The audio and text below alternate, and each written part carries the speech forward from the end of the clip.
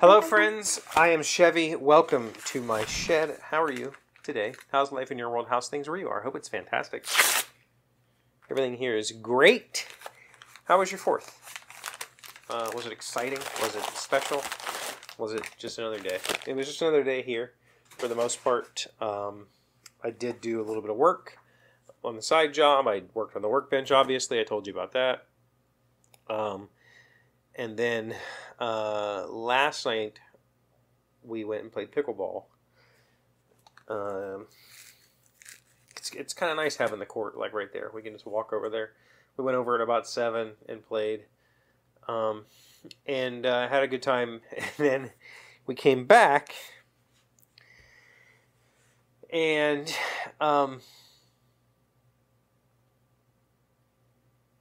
the dog, of course, when we go away, he's happy to see us. So we came back. He wanted to go outside, so I let him out. We have the cat now, so I have to let him out in and out. Like usually, before having the cat, the back door would just stay open and he could come and go as he pleased because he had a dog door. So we'd lock the screen door and stuff, and he would come and go as we pleased. We'd shut and lock the door when we weren't here, or shut and lock it at night, or whatever. But during, you know, he could just come and go as he pleases. So he went outside. I shut the door. And then he was taking his time, so we decided to rinse off because we were super sweaty and disgusting from pickleball. So I got in the shower to rinse off, and during that time, the fireworks started. Now, my dog, like every other dog in America, I think, is scared to death of loud banging noises.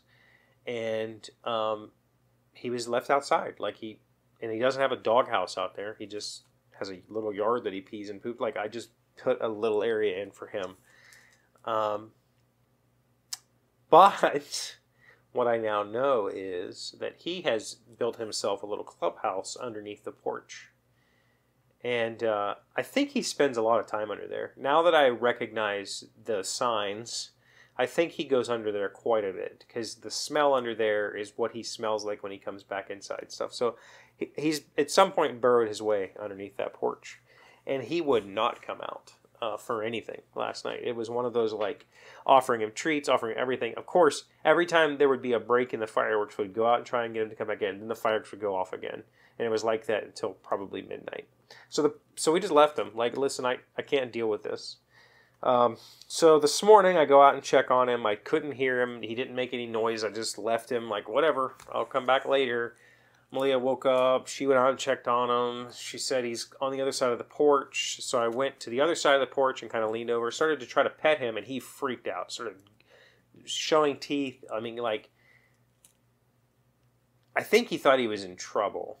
And he's not an aggressive dog, except for if you try to take his food away from him, uh, or if he's hiding. Like, if he's in hide mode, he gets aggressive. And it was like, so because she thought he was stuck. She was like, he's out, he's whining. I can, you know, he's trying.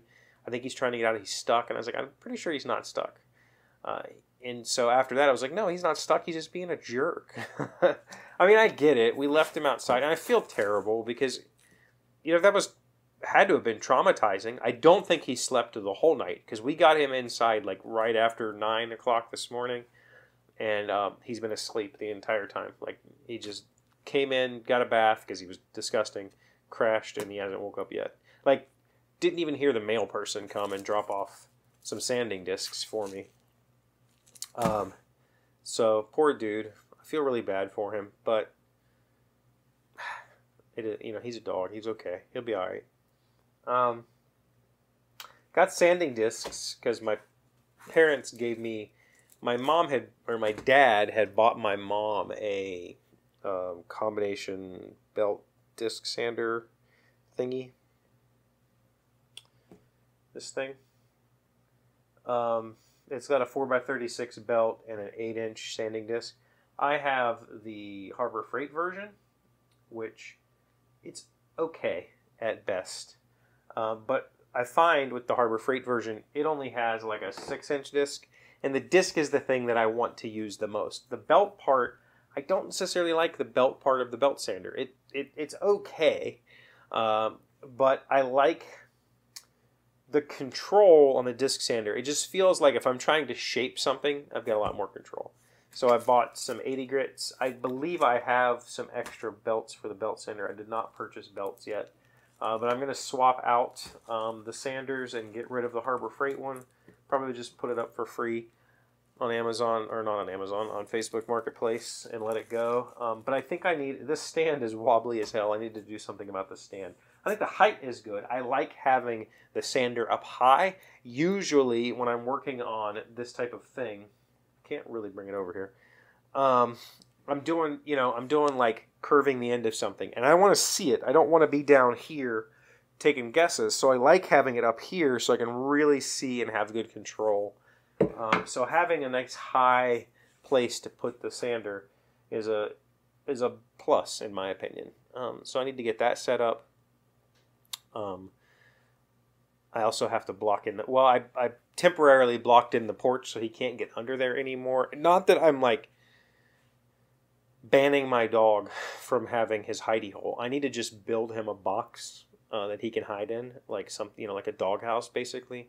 I've said that for a long time that he needs to have a hidey hole. He is a wiener blend, wiener lab, so he is a burrower and he when when there's loud noises when there's when he's hurt he likes to burrow like all burrowing animals do and so taking that away from him is a little bit cruel i just need to build him a box that he can hide in when he wants to um, i've been saying i need to do that inside too but i've not done that yet because he he used to when he was a little pup before malia came into my life he slept with me and he was he's an under the sheets dog like he wants to burrow and be close um, she kicked him out of the bed and he hasn't he hasn't been able to sleep in the bed for a long time now. And so I feel bad about it. I've been saying every time there's a storm, he looks for a place to hide. And he's done this aggressiveness thing, but getting under our bed before. Uh, when he got when he hurt his back, he crawled under our bed and was super aggressive with us. So we have like put stuff under the bed to keep him out of there because I can't deal with that. Like, dude, like I need to help you when you're hurt. I can't have you going under my bed and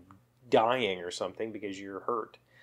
Um, so I just need to build him like a box that I can put his dog bed in that he can hide in and be his little safe place. Um, so I that's gonna I think I'm gonna tackle that project sooner rather than later because uh, I feel so bad for him, especially when nights like last night. And it'll probably happen again tonight.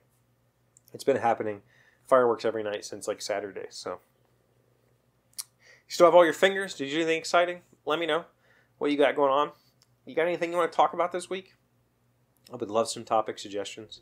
Thank you for being here as always. Thank you for liking, commenting, subscribing, being amazing friends and wonderful people. I really appreciate you, and I'll see you again tomorrow. Today's word you should know to sound smart is repertoire.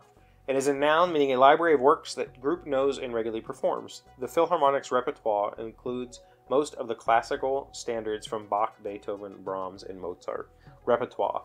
R E P E R T O I R E again, there's another word that I don't think is necessarily uncommon. I think that's a pretty common word.